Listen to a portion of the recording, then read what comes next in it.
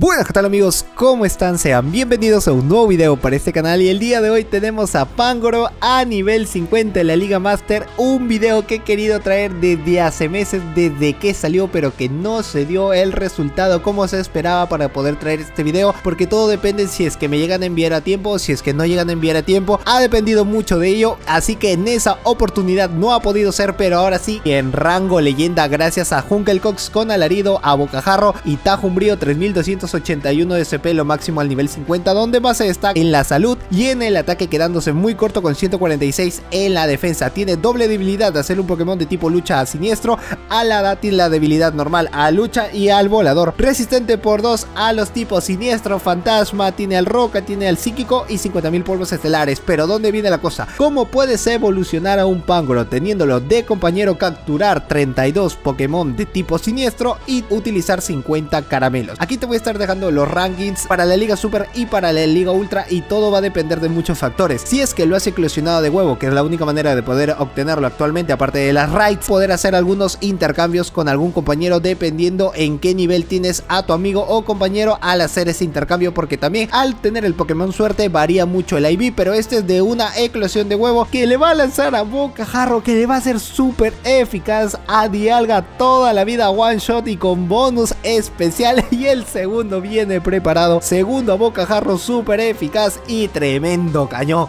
qué grande puede ser, le hace súper eficaz, le faltó un poco más, pero qué gran spammer es para lanzar un tajo umbrío con dos alaridos, es más que suficiente, Melemetal no tiene opción, no hay chance para que pueda voltear esto y termina ganando el primer combate, en el segundo tiene a Garchomp versus Mewtwo, inicia casi prácticamente muy bien Elite, así que lo único que necesita es insertar el onda certera y así hacerle súper eficaz, pero primero vamos con el baiteo a ver si utiliza su primer escudo, porque ha llegado al momento donde puede ser, pero no se deja deja baitear el rival. Sabía de que podía haber pescado, ya que no era muy efectivo, podía haberse arriesgado a que pueda hacer todo el combate decisivo, solo le lanzaba así, porque iba a descubrir su último Pokémon, si no volvía a Garchomp. No es muy efectivo de nuevo con el onda mental, así que está arriesgándose a lanzar su tercero, a menos que quiera hacer el cambio necesario. No lo hace, no se quiere arriesgar, se quedó con uno más y entra Dialga solo para el farmeo, pero le ha costado un escudo.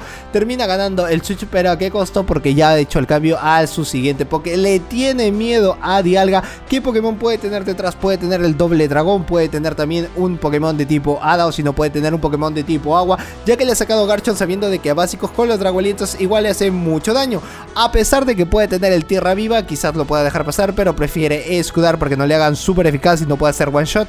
Le queda un escudo para librarse de Dialga a ver si puede hacerlo y termina siendo farmeado. Su último Pokémon llega a ser Metagross que con Cometa Draco es toda la vida casi, ya que no es muy efectivo, pero casi es toda la vida como es último Pokémon sí o sí tiene que escudarlo, quiera o no quiera. Por eso se va a su mejor ataque. Y como termina siendo escudado, lo único que necesita es que drene la energía para que pueda entrar Pangoroth a lanzar su ataque Tajo Umbrío. Pero lo utiliza a Mewtwo como un muy buen señuelo para que le lance el puño meteoro o puede hacer el terremoto. Bueno, puño meteoro está bien, puede entrar tranquilito, pero primero le lanza el cometa Draco y no llega. Ahora sí, ya no tiene más energía. No va a poder lanzarle rápido un puño meteoro, no va a poder lanzarle rápido un terremoto, así que como spamea tres básicos suficiente y solo le faltó uno más para tener una bocajarro, le hace súper eficaz, encima se bustea en el ataque, aumenta todo SPS que tiene en el ataque con 226 y por más que le lance puño meteoro lo deja con uno de vida, un PS y con ese pixel fue suficiente para que gane. En el tercero tiene a Excadrill versus Mewtwo,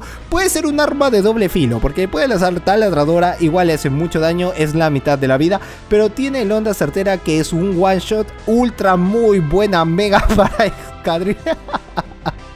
Pero termina lanzando onda mental porque capaz no se quiere arriesgar, sé que no es muy efectivo, pero puede bajarle más de la mitad de la vida, así que utiliza su primer escudo y ya está, con onda certera es más que suficiente, no se quiere arriesgar, al menos lanzar un ataque antes de poder pensar si es que va a utilizar o no va a utilizar su escudo, si es que quiere entrar con Dialga o quiere entrar con Pangoro, va a tener que ver, ver la complicación que va a tener, así que sabe de que no va a poder llegar uno más, que con 5 cortes está muy bueno para que pueda lanzarle un ataque más y pueda ganar la prioridad de Elite y le lanza justo cuando lo necesitaba Mewtwo tiene mucho más ataque, por eso que le gana la prioridad a Excadrill, no es muy efectivo y ya está, tranquilito, termina ganando esto, sale Kyogre, puede un surf más y justo lo deja en el rango que ha necesitado, que ya estaba preparado para lanzar un onda mental, más de la mitad de la vida, es perfecto para que tenga casi 5 básicos con los cascada y pueda tener solo un surf y le cambian rápido a Dialga versus Dialga, igual Pangoroth puede resistir el primer surf, lo único que necesita es dejarlo sin escudos que sería la mejor opción que tiene y si no tranquilito lanzar el tajumbrío a ver si es que se puede bustear en el ataque.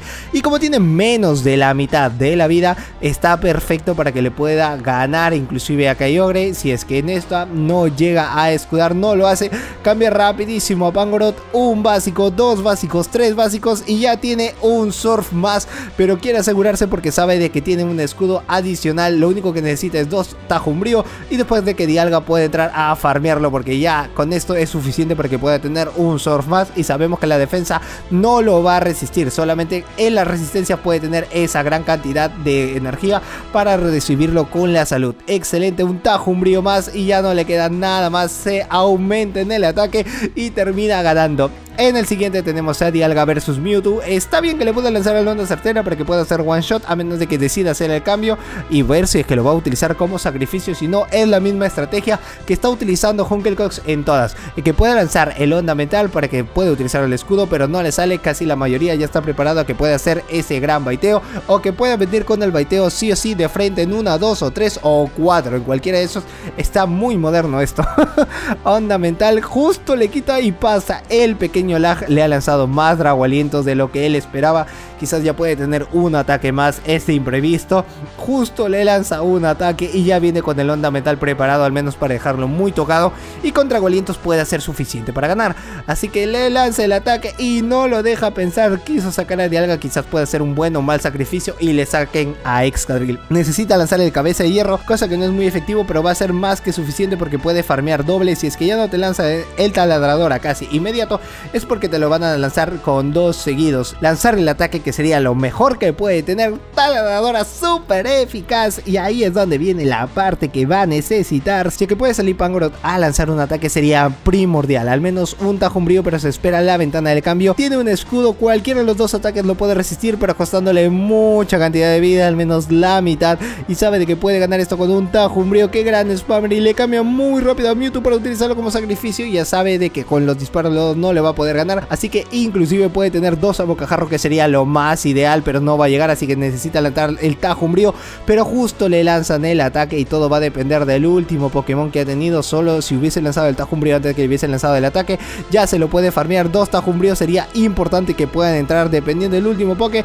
Y sale Mewtwo. Acá es donde hubiese necesitado mejor ese escudo porque iba a necesitar 10 al menos para ganar ya que no es muy efectivo puede resistir los psicocortes mientras que tiene la chance de poder tener más tajumbrío donde tiene la chance de que pueda ser súper eficaz donde tiene esa chance de poder bustearse en el ataque y ahí es donde iba a venir ese escudo primordial pero al ganarle solo Excadrill ese pedacito que necesitaba de quitarle el último escudo es donde no va a poder ganar porque le faltó ese básico lo primordial que ha necesitado. Mira con uno lo ha dejado y así termina perdiendo este combate. No es muy efectivo. Esperé que pueda haber salido ese cinconazo. Pero bueno, va 3-1. Está bien. Está bien que vaya 3-1. Al menos está demostrando Pangoroth que está siendo muy buen Pokémon y que funciona dentro de la Liga Master. No que se queda muy detrás. Está muy bueno como un Poké off meta después de los legendarios. Así que prepárate porque pues, esperemos ver una Premier con un Pangoroth muy importante.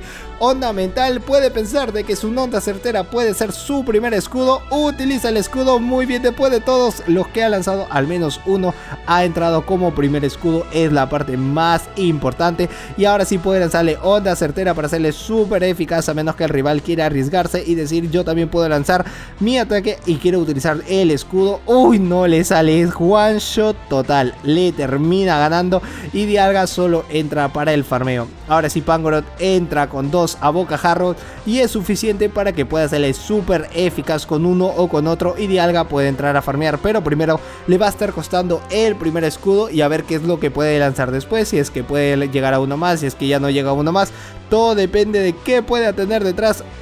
Le lanza el primer a boca jarro, esto es muy bueno, súper eficaz y utiliza su último escudo, pero llega con el segundo a la boca jarro y ahí es donde va a depender qué le va a lanzar. Ay, casi toda la vida y Dialga entra por el farmeo y ya saben que Cometa Draco se baja todo. Cometa Draco es súper eficaz para Garchomp, hasta con un cabeza de hierro ya es casi ganable, está con casi los dos pies dentro del juego y así va a terminar ganando esto. La prioridad ante todo que pueda ganar y pues nada más amigos se termina rindiendo. Hasta aquí el video del día de hoy, espero que te haya gustado. Like bien gordo este video, suscribirte al canal si es que eres nuevo y activa la campana de notificaciones para que si YouTube te avise todas las veces que subo un nuevo video porque así te va a estar notificando y vas a saber qué nuevos videos vamos a traer el día de mañana que se vienen con los nuevos pokés. Yo soy Josedu, esto es José Games y nos vemos en el próximo video. Chao.